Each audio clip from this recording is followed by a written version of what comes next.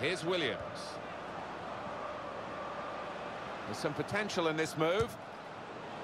Well, that's an absolutely stunning strike.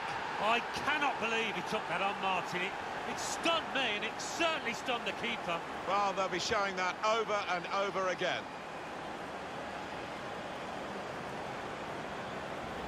That's a superb shot from long range. Oh, he's really connected with that perfectly, and that's flown off his boot past the keeper. Miles out he was. From the moment he hit it, you can see he knew it was going in.